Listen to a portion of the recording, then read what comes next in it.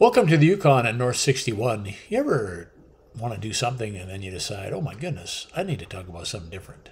I went out today with my 1900 in 9.3 by 62 and realized after just being pummeled on the bench that I should really talk about recoil and the forces that contribute to recoil. Back up 9.3 by 62. This is a Husqvarna 1900. Really nice little gun.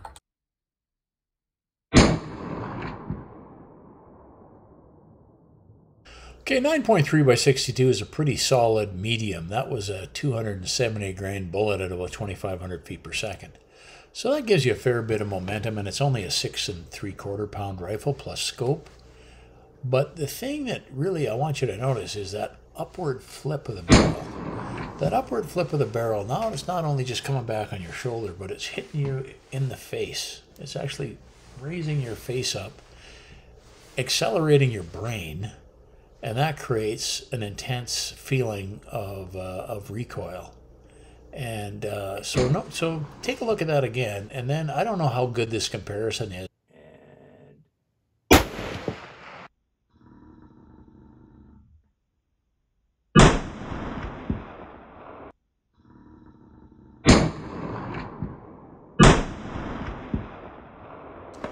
So Newton taught us that for every action there's an equal and opposite reaction. And what are the actions? The action is the bullet weight and the speed gives you the momentum going forward.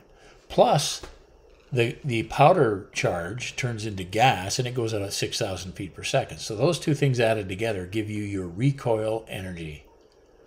So, what did the JBM site tell us? Well, it told us that that little 6.8 pound rifle with scope, 30 6, with 220 grain bullets, was uh, recoiling with about 30.2 uh, foot pounds of energy because it was knocking that rifle back 16.9 feet per second.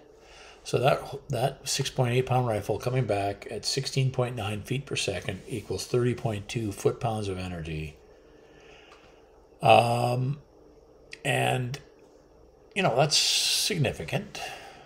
Now, the 9.3 by 62 with a 270 grain bullet at about 2400 is knocking an 8 pound rifle, scope and rifle together, at 16.5 feet per second, giving you about 34, which is about 12% more.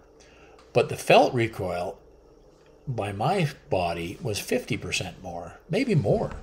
Like the 30 on 6, I could shoot all day. That uh, that 270 grain bullet, which is only going, you know, only only having 12% more recoil theoretically, seemed a lot lot heavier. And I think to figure that out, you need to take a look at Scott at stock design. So let's take a look at that. So let's take a look at a stock from yesteryear, which was designed uh, so you can go low and use open sights, like really nicely with open sights. So you can see that that stock drops, and it drops about an inch and a quarter or so. So that drop means that when this rifle recoils, instead of going straight back, it rocks up. And when it rocks up, it takes your head with it. Now, as a former person who boxed, when you get hit in the jaw, your head decel- accelerates, your brain decelerates, it wants to stay where it is. You get your brain knocking around your skull. That's not good. It's not a good feeling. And it's not a good feeling when you're on the bench or shooting from prone either, when that rock comes up. So that accentuates recoil. So instead of 34 foot pounds of energy, it felt like I was getting hit with at least 50. Okay, now, what about this Forbes 24B? So this was designed totally for a scope, and if you take a look at the drop of comb, it's about zero. Maybe it's just a quarter of an inch or less, or maybe an eighth of an inch. And uh, so that has much less of that rocking action. So most of that 30 foot pounds that it's recoiling with is coming straight back. So there's very little of this. And you can see that in the video. That's almost no flip. So my shoulder can take lots. I mean, even at my present state of decrepitude, uh, you know, I've worked up to probably, you know, doing 180 pound benches. So 33 pounds, I could do that all day long. My head, I, I don't know if it was Tyson Fury or somebody said 25 pounds in the right place will knock you out.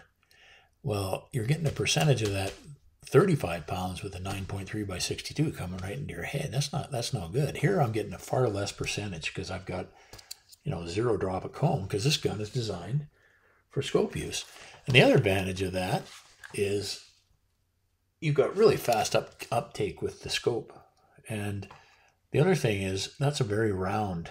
There's a lot of surface area there.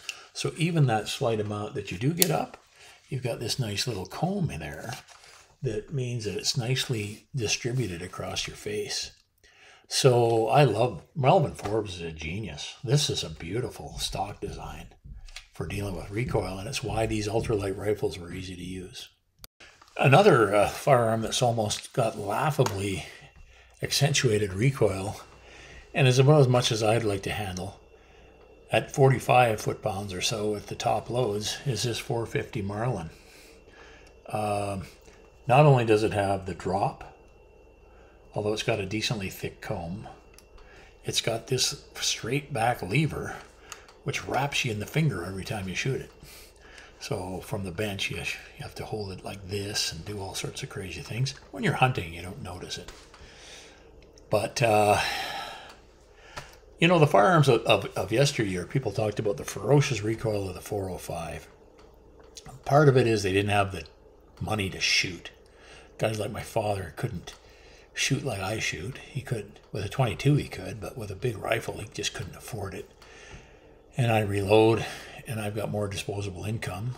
So I've shot thousands of rounds where he never could do that. Uh, you know, even Army recruits had to have limited shooting, so they would talk about the incredible recoil of the 30 odd 6 and uh, you know part of it was those old Springfields again had that ancient uh, drop at comb so that they could use open sights.